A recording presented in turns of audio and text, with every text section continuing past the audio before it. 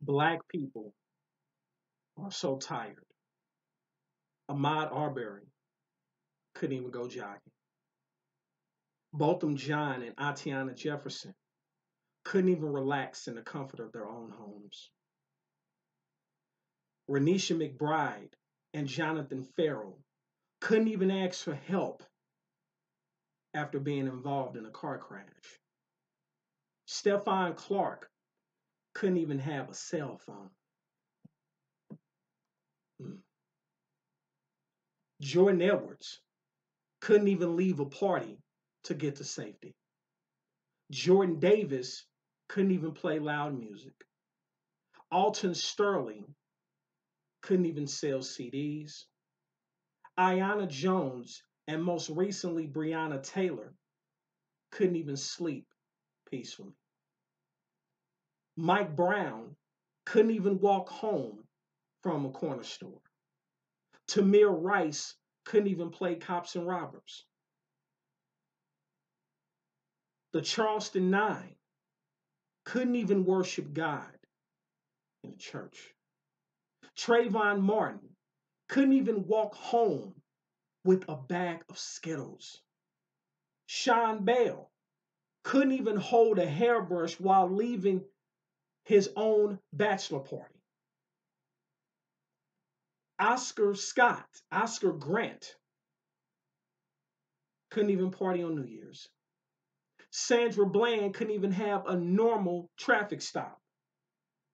And even though we supposedly have the right to bear arms, tell that to Philando Castile, who couldn't even lawfully carry a weapon. Corey Jones couldn't even have his car break down on the side of the road. John Crawford couldn't even shop at a Walmart. Terrence Crutcher couldn't even have a disabled vehicle. Keith Lamont Scott couldn't even read a book in his own car. Walter Scott couldn't run. Freddie Gray couldn't live.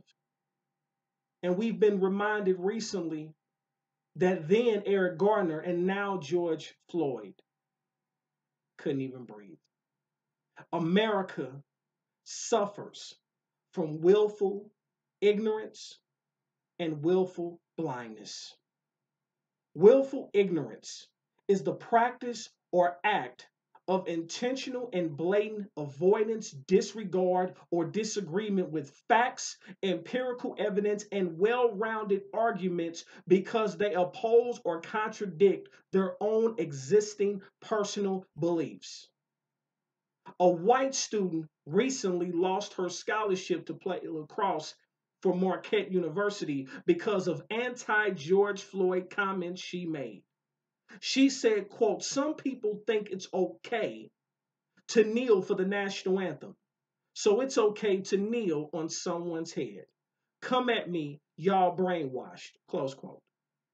Willful blindness is a term that is used in law to describe a situation in which a person seeks to avoid civil or criminal liability for a wrongful act by intentionally keeping themselves unaware of facts that render him or her liable or implicated. Laura Ingraham, a couple years ago, had some choice words for two black NBA prominent superstars, LeBron James and Kevin Durant in regards to comments that they made regarding the current political climate.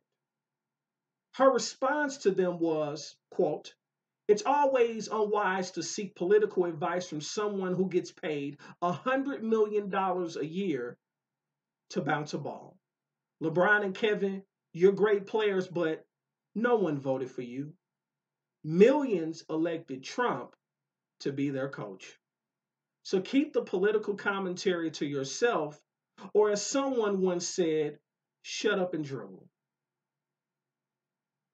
But it's ironic that she came to the defense of prominent white Saints quarterback, Drew Brees, who recently said that he will never agree with anyone who chooses to kneel for the national anthem or disrespect the flag.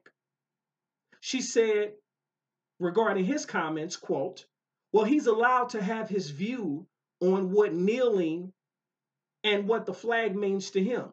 He's a person. He has some worth, I would imagine. This is beyond football, though. Close quote. Apparently, Laura Ingraham lacks gumption and current blatant common sense because she doesn't see or want to see the hypocrisy of what she is saying in reference to coming to the defense of Drew Brees while chastising LeBron James and Kevin Durant because last I checked, Drew Brees did get did not get voted for either. And this is the problem with America because America does not look at things like this as a problem. And until America realizes its alleged promise of freedom, justice, and equality for all of us and not just some of us, it will continue to go on. The reality is that America doesn't like to be held accountable. America's not sick of this.